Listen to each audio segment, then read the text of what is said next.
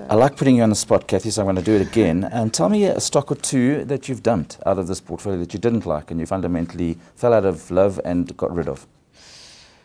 Okay, so most recently there would have been Philip Morris. Okay. Um, the reason being is um, when we look at global leaders, our strategy is really to be investing in companies where we see good structural growth going into the future, quality, good structural growth, and it just became very difficult for us to defend the stock.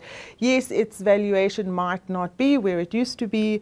Um, maybe they will evolve to a certain extent um, in terms of the heat not burn uh, offering, but we just felt like it was a stock that was difficult for us to continue defending in our portfolio when they came out of the fact that they might um, merge with Altria, that was just, I just, we had already started lighting, but that is when we decided, no, this is this is time for us to exit the stock. It didn't sound right. It was a decision they decided. The business split a few years ago, and now the fact that they wanted to get back together um, just didn't uh, sit right with us. So we felt it was time to exit here. So it certainly sounds like a fluid sort of process that you guys go to. Are there uh, meetings that are fundamentally in the diary that you cannot miss, and then when, when market moves, you, you, hop on the phone, hop on the email, and you and the team get together and have discussions. How does that How does that work? Yes, so we do have our weekly investment meetings. So some of the guys sit in the UK and we sit here.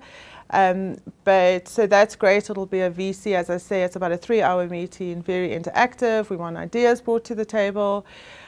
However, if something does happen with one of our stocks and we feel like we have to call a meeting, yes, we definitely will. But but the analysts are also responsible for reporting back on any news flow that may be significant to um, to the stocks we have within the portfolio.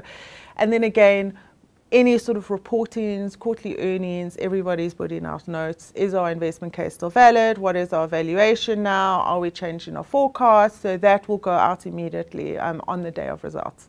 So a defensive equity fund, but not very actively managed, certainly not passively managed uh, in your mind? Very, very actively managed. Very Kathy, I think our time is up. I'd like okay. to uh, thank you for joining me this morning. I hope you have a good day. Yeah, thanks for having me. Yeah.